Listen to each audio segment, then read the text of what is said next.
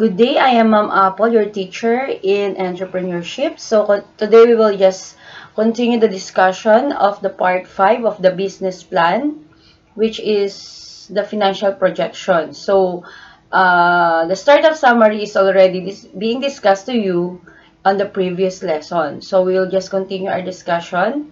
So here in financial projections, we use the uh, only three, no, three financial statements which are the income statement, the cash flow, and the, okay, the projected or the balance sheet. So, dito kung mapapansin nyo, we are projecting, when we say projecting, we are just forecasting, no? Wala itong uh, konkretong basihan. Yung data na ginamit natin dito are just, uh, ang tawag dito, already given or uh, based sa ating uh, based sa ating uh, kaalaman na kung saan ay ay ay magbabase or sa tingin natin ay angkop okay dun sa ating business plan. so let us discuss first the projected income statement. So ito, pinag-aralan na natin yung format.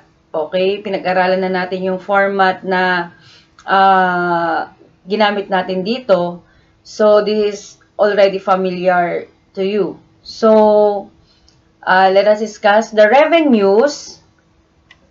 Okay, saan natin titingnan yung revenues? Ito yung revenues, no? So, this is, this is the revenue for year 1 Saan daw natin titignan yung revenue natin? Ang sabi dito, revenues from total sales, projection table, year 1 sale in peso. So, tingnan natin ngayon yung ating uh, sales projection table. So, this is your sales projection table. Sabi dito, year 1. So, ibig sabihin, ito po yun, 290,280. So, ilalagay po natin siya dito sa year 1. Ayun, ang revenue. Then, cost of goods sold. Cost of goods sold from startup summary table, all the materials cost needed in production, production of goods like fabric and labor. So, dito sa cost of goods sold, pupunta naman po tayo sa ating startup summary. So, lahat ng Okay, lahat ng materials na ginamit natin, tama po ba?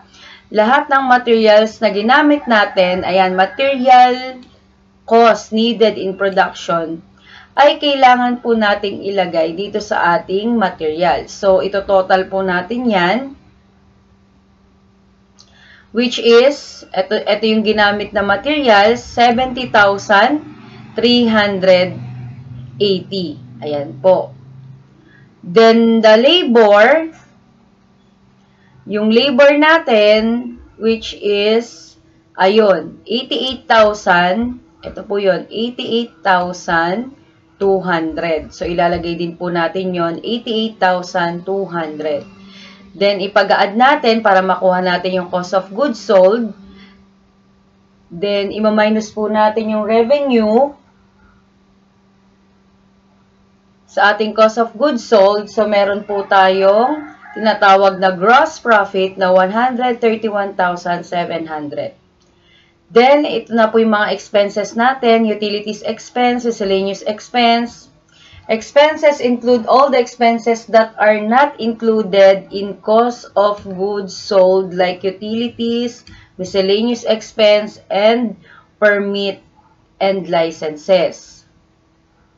So, dito po lahat yon. So, itong utilities expense, tingnan natin, 15,450, ah, no, no, no. Yung miscellaneous expense, ayun po, 15,420. Yung utilities, ito po siya, 24,000 24,000 pesos. So, lahat po iyan makikita natin sa startup summary. Then, permit and licenses, ito rin po yan, permit and licenses. So, sa permit and licenses, hindi naman siya tumataas no, per year. Depende na lang kung magtataas po yung, yung BIR sa singil nila. Pero kalimitan naman po ay hindi naman po agad yearly nagtataas. So, hindi natin siya itataas yearly. The next is, okay, so income before before interest and tax. Alam naman po natin yung gross profit minus expenses. Income before interest and taxes. Then, para makuha yung tax natin, times natin sa 32%, okay, yung 89,280, so we have 28,570. Para makuha ang total income, uh, ang net income, i-minus natin yung income before taxes, then sa tax, then ang net income natin ay 60,710. Okay, yan po yung computation. Ito po yung computation sa ating tax, then ito po yung computation natin sa ating net income. Okay, so to compute for for uh, for for years 2 to 5, do the same procedure. So gagawin niyo lang din po yung the same procedure na ginawa po natin dito sa year 1 uh, cost of goods sold and expenses multiply the desired percentage you want. So in that projection, 10% increase per year is used to get the amount of years uh, for years 2 to 5 except for permit and licenses. So lahat po dito lahat po dito, materials, yung labor, the expenses, maliban na lang po sa permit and licenses, kasi nga po sabi ko po sa inyo kanina, hindi naman siya yearly nagtataas. Ano po? So, uh, lahat po yan ay tinimes, tinimes natin sa point 10 para makita lang natin yung progression ng pagtaas ng ating mga expenses and also yung pagtaas ng ating revenues. Kasi nga, we are just projecting, we are just forecasting our uh, data to um, para maipakita sa mga investors na kumikita yung ating uh, or nakikita yung ating uh, kumpanya or yung ating business. Okay? So that is the financial uh, projected income statement.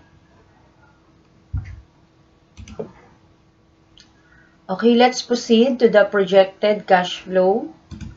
So, the beginning, dito muna po tayo sa year 1. So, the beginning balance is 27,000. Uh, before that, what is cash flow? So, ito hindi natin napag-aralan to uh, last time. So, ang cash flow, this is, uh, this financial statement shows the flow of cash inflow or outflow. So, dito sa cash flow, from the word itself, cash flow, uh, dito lang natin, i-determine lang natin dito yung paglabas at pagpasok ng pera sa ating negosyo.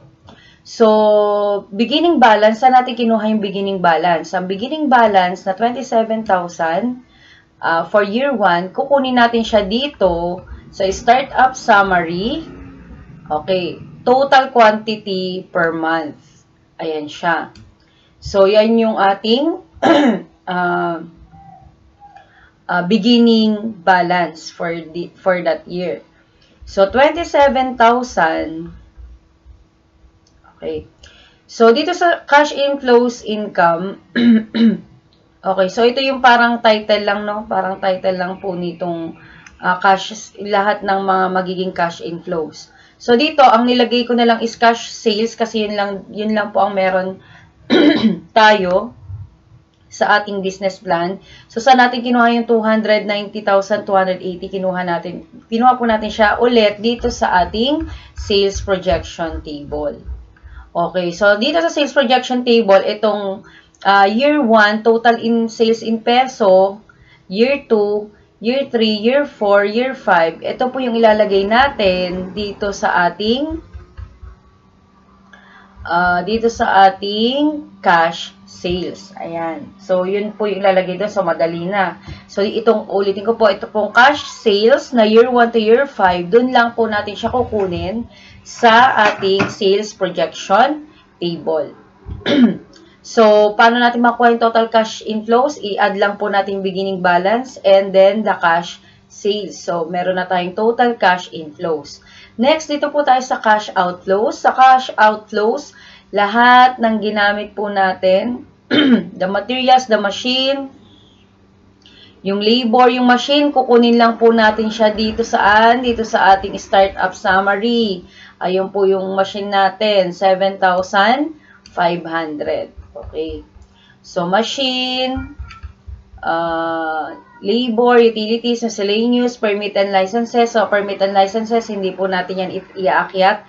So, ito po yung lahat ng uh, sa ating uh, sa ating uh, cash outflows maliban lang sa permit and licenses. So, nag increase po tayo dyan ng 10%. Okay, 10% para makita natin yung progress ng ating mga expenses.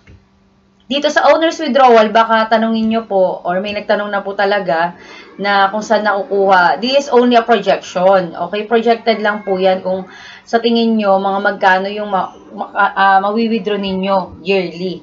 Okay?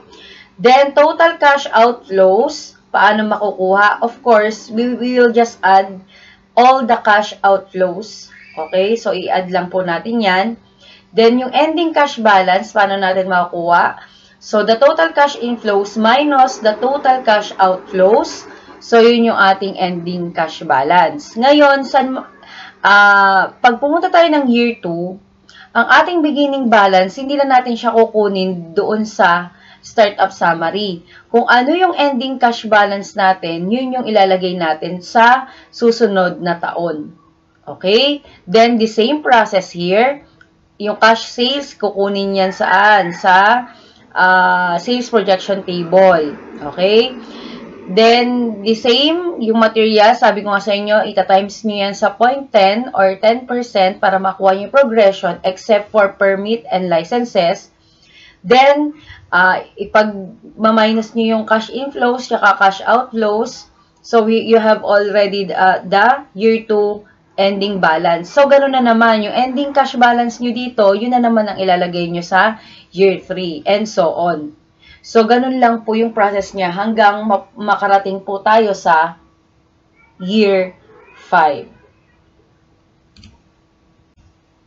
Okay, so we will proceed our discussion. So, now we will discuss about the projected balance sheet. So, ito pinag-aralan na natin yung format, pero dito mas sinimplihan pa natin. Okay, sa, sa assets, uh, meron lang tayong total uh, uh, current asset, which is ca cash at hand or cash on hand, pag yan ay, uh, di, ito, kinukuha to sa uh, cash at hand based on net income. Yung nilalagay po natin dito sa cash at hand. So, asa yung net income natin? Siyempre, pupuntahan natin siya sa uh, projected income statement. So, ito po yun. So, this for year 1, cash on hand, year 2, year 3, year 4, and year 5. Okay? So, ayun po siya. Ayan, yan po natin makikita. So, total current assets, so which is, kukopyahin lang po natin siya. Sa fixed asset, o yung tinatawag nating, uh, yung sa atin na non-current asset, so wag na tayong maglagay dito. Okay, so total asset natin, kukopyahin na lang po natin yan.